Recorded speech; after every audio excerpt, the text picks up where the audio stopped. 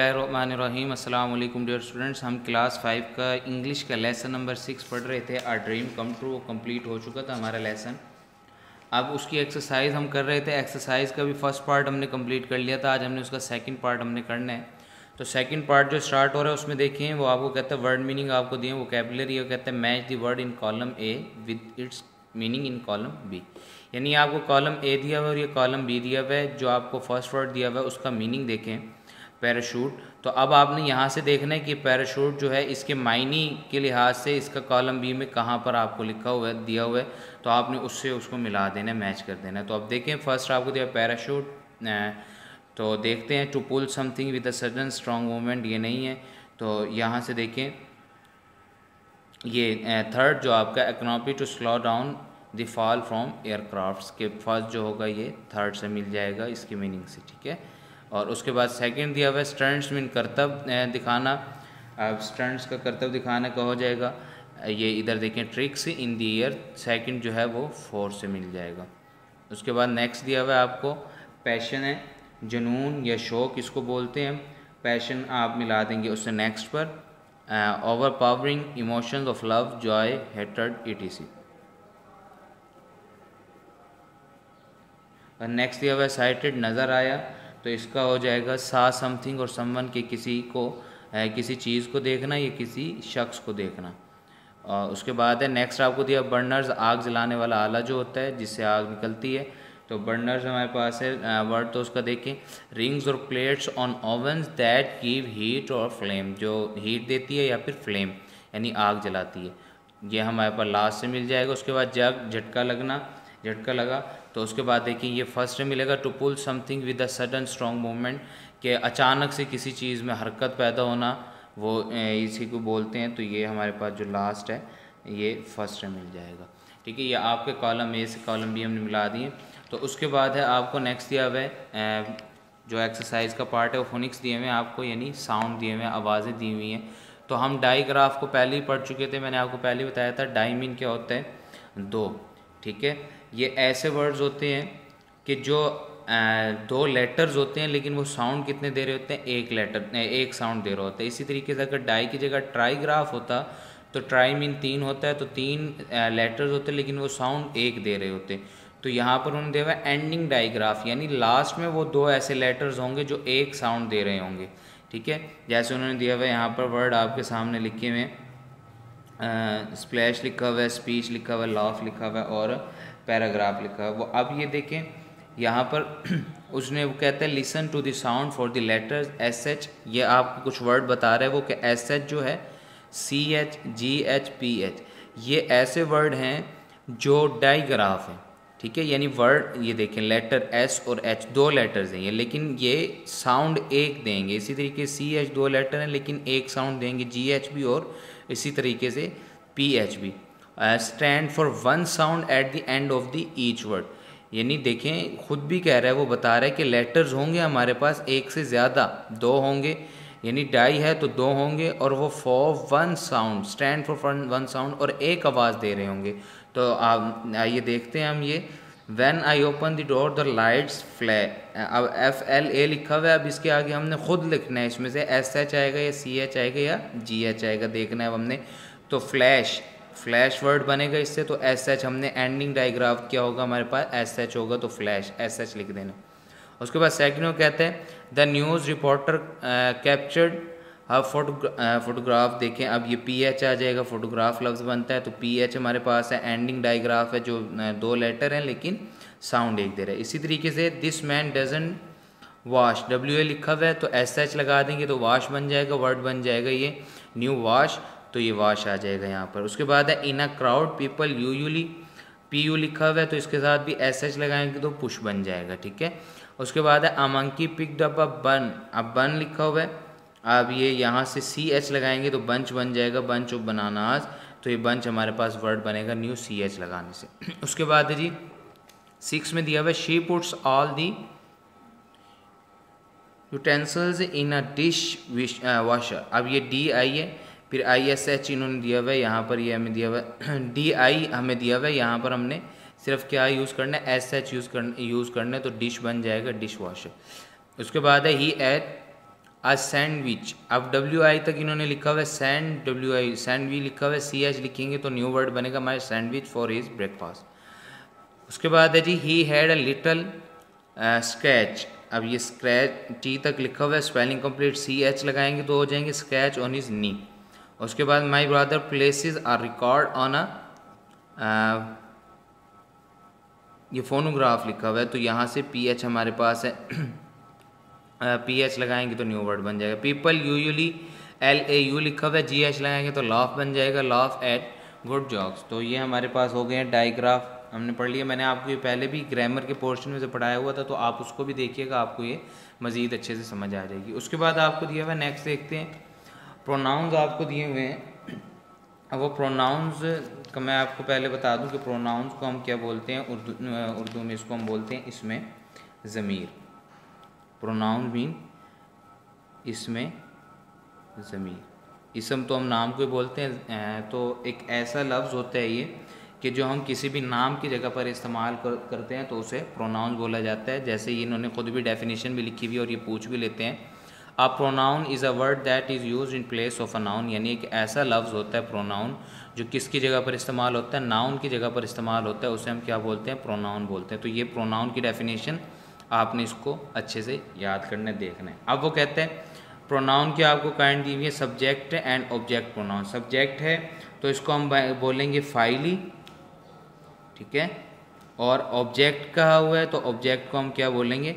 मफूली यानी दो उसने अभी हमें बात की है कि आपने सब्जेक्ट और ऑब्जेक्ट प्रोनाउन के बारे में बात करना है कि अगर हमारे पास सब्जेक्ट में नाउन है और उसकी जगह पर हम कोई वर्ड यूज़ करेंगे तो वो सब्जेक्ट प्रोनाउन होगा।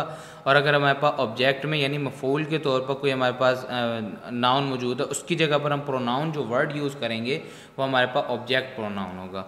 तो फॉर एग्ज़ाम्पल उसने अभी हमें प्रोनाउन की दी हुई है, वो कहता है, अकबर रीड्स आ स्टोरी कि अकबर कहानी पढ़ता है ही इन्जॉयड द स्टोरी अब ही से कौन मुराद है? न्यू वर्ड यूज़ किया उसने किसकी जगह पर? अकबर की जगह पर। तो ही का ताल्लुक अकबर से है। तो उसने अकबर की जगह एक न्यू वर्ड यूज़ किया। क्या था वो वर्ड ही तो ही हमारे पास क्या हो जाएगा ये? ये प्रोनाउन हो जाएगा हमारे पास। ठीक है? अकबर हमारे पास नाउन था। ठीक है? अब उसने नाउन को ख़त्म कर दिया सेकंड सेंटेंस में और उसकी जगह पर अकबर की जगह ही लिखा, ठीक है? तो वो हमारे पास जो ही वर्ड जो लिखा उसने वो प्रोनाउन होगा। उसके बाद नेक्स्ट देखते हैं। वो यहाँ पर हमें कहते हैं subject pronoun uh subject pronoun यानी सब्जेक्ट प्रोनाउन को मैंने आपको भी बताया, अभी बताया कि फाइली इसमें ज़मीर। अब फ़ाइल ही क्या होता है? यानी सब्जेक्ट क्या होता है कि जो काम कर रहा होता है, ठीक है?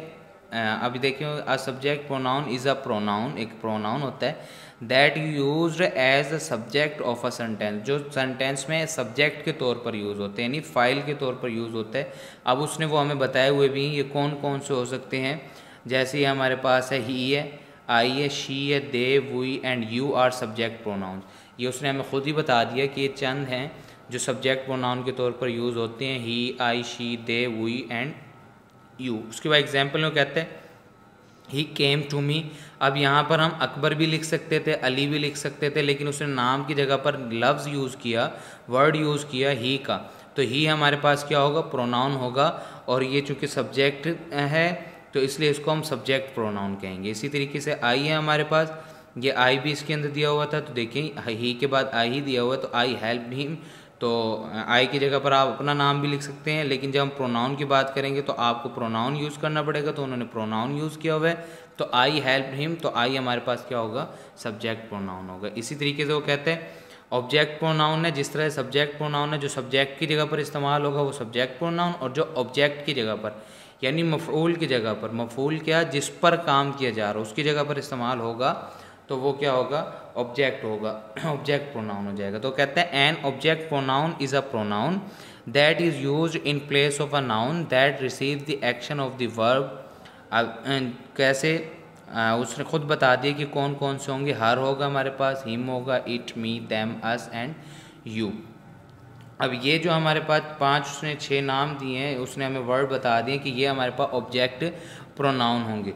तो इनको आपने अच्छे तरीके से इन वर्ड्स को याद करना है कि ऑब्जेक्ट प्रोनाउन के कौन से वर्ड्स हैं, ये लिखे हुए हैं। और सब्जेक्ट प्रोनाउन के ये जो ऊपर अभी हमने पढ़े, ये भी आपको पता होना चाहिए।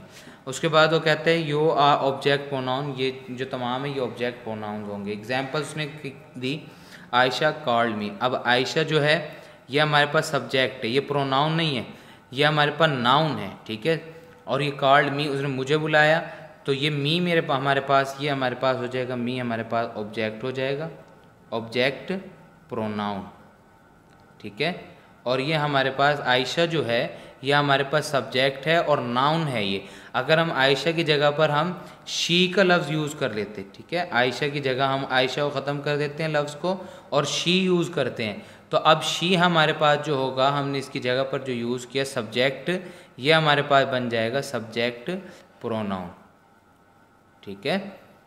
ये आपने याद रखना है कि हम इसकी जगह पर अगर कोई लफ्ज़ यूज़ करते हैं शी का तो ये हमारे पास प्रोनाउन होगा और ये सब्जेक्ट प्रोनाउन होगा।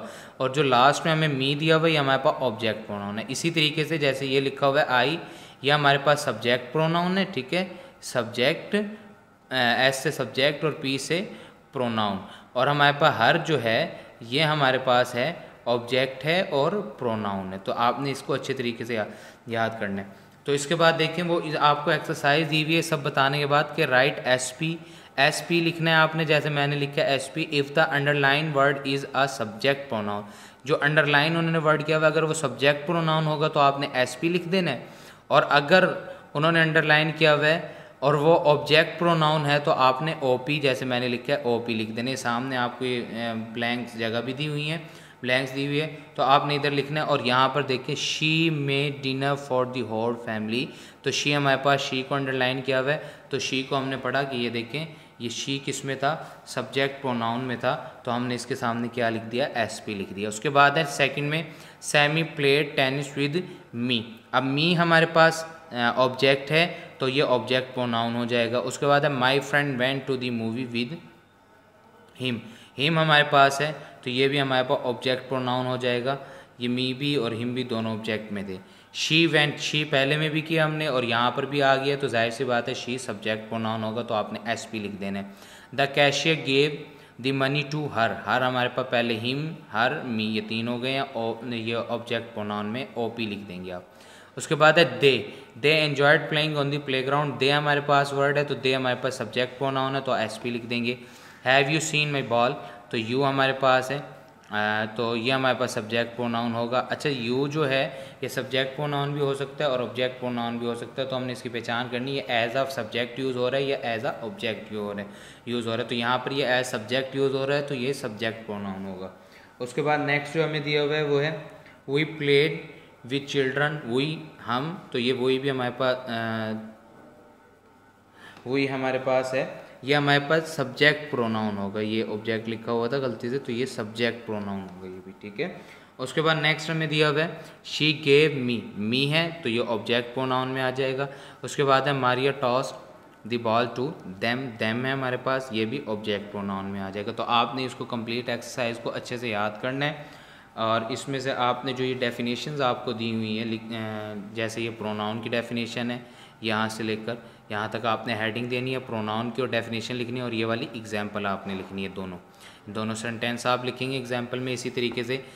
फिर उसके बाद आपने सब्जेक्ट प्रोनाउन की हेडिंग देनी है तो सब्जेक्ट प्रोनाउन की हेडिंग देकर आपने यहाँ से लेकर यहाँ तक लिखना होगा एग्जाम्पल्स के साथ। उसके बाद ऑब्जेक्ट प्रोनाउन की आपने हेडिंग देनी है और यहाँ से लेकर यहाँ तक ये एग्जाम्पल्स के साथ आपने इसको लिखना होगा। तो ये तीनों डेफिनेशंस और तीनों डेफिनेशंस के साथ साथ आपने एग्जाम्पल्स भी लिखनी है। ये आपका होमवर्क होगा और बाकी कंप्लीट एक्सरसाइज आपने याद करनी है। नेक्स्ट लेक्चर के साथ फिर हाजिर होंगे। अल्लाह हाफिज़।